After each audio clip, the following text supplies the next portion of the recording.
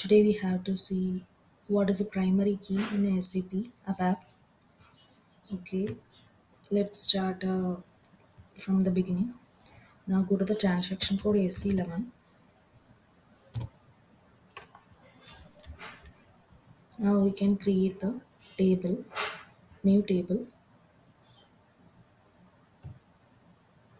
Click to create. Now we have give the short description for the table. Table 2 and uh, give the delivery class. Delivery class uh, a application table. And uh, data browser is a display maintenance allowed. Now go to the technical settings. Activate the table. Local object. Data class is appl0 size category. Once we give the fields after we give the size category otherwise no need. Now you can save go to back. Now go to extras. We give the enhancement category. Can be enhanced to deep. Now activated table was not activated uh, okay because we can't give any field name. We have created the field for uh, the employee id employee ID, is a key field. First we can click the data element okay because data element contains domain. Then we have create the data type okay. Uh, next uh, we give the data element. The data element is employee id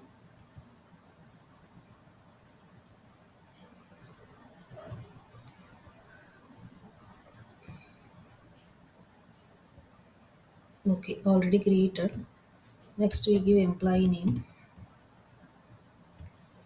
We can give the initial value only. Okay not a key because each table need to activated one primary key. Otherwise the table can't activate it. example i am uh, yeah this is one checkbox only i am check. This is a name also employee name also. Now we can activate. The table can't activate it.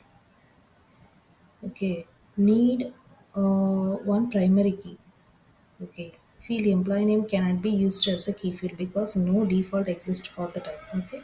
So need to activate on primary key.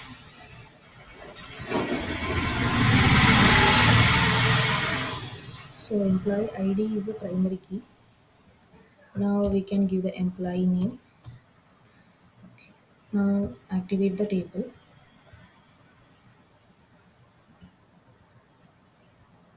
go to the size category maintain the size category go to the technical settings give the size category 0 this is the options. What are the possible entries for the size category? Number of data records in the table expected. Okay 0 to 15 is uh, fine. Save. And activate the table. This is not a key field okay initial value only.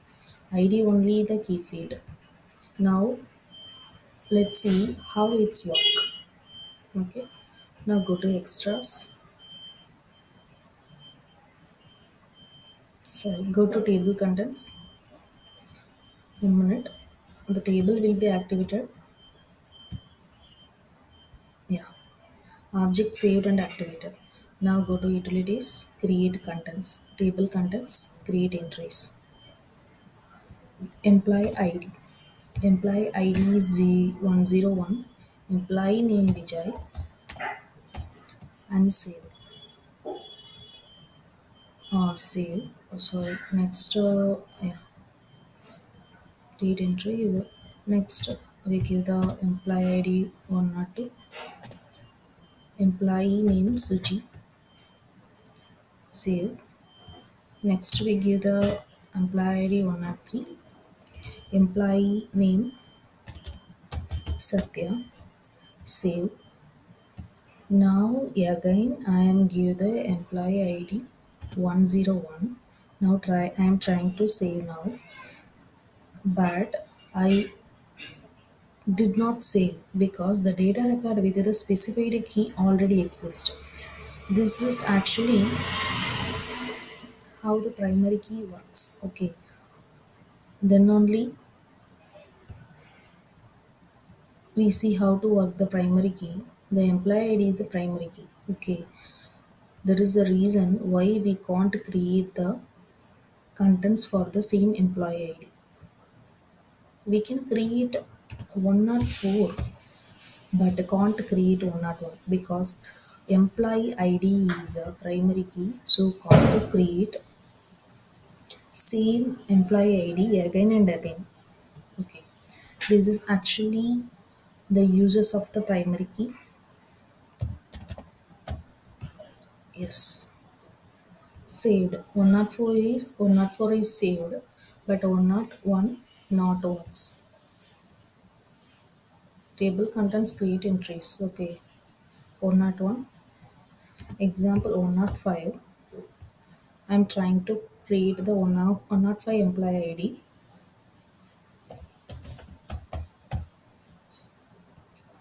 yeah.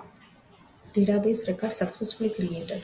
But 101 or again i tried to create 105 for different name. For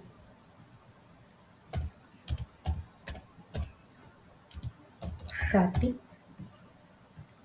Again, we get the same error. A data record with the specified key already exists. This is actually used for primary key. Okay. Now activate the table. We can see now what is the record we created. This is employee ID name. What the fields we can create. This is the contents we have created for this table. Okay employee id and the employee name. Employee id is a primary key. So we can't create the same employee id for repeat. But employee name is not a primary key. So we have created the employee name but employee id can't, can't create this is a primary key. So need to activate at least one primary key for the each database table. So thank you for my new subscribers and uh, subscribe my channel. Watch more videos. I upload also